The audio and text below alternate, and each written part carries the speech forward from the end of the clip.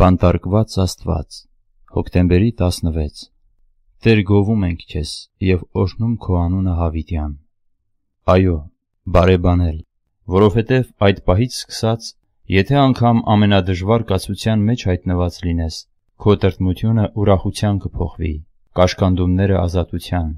կփոխվեն եւ արտաքին պարագաները, անկարգությունները կարգի կգան, քաոսը պարզության կփոխվի։ Ամեն ինչի բարեկարգության սկիզբը պետք է սկսվի քո ներսից։ Որքան էլ սահմանափակ լինեն քո հնարավորությունները, որքան էլ քիչ կարգավորել ցանկանաս քո գործերը,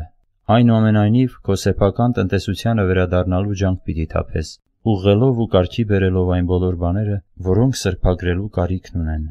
Երբ կարգ ու կանոն հաստատես քո ներսում, կտեսնես, որ կարգավորվել ես նաև արտաքնապես։ Մաքրագործվել ամբողջովին եւ վերգտնել խաղաղությունը հոգու նշանակում է ազատություն տալ Աստվածային ուժին, որ բանտված է քո ներսում։ Այդ ուժը, հոգևոր այդ զորությունը, երբ սկսի գործել, անմիջապես հրաշքներ կկատարի։ Այդ ժամանակ է, որ քո տրտմությունը ուրախության կփոխվի։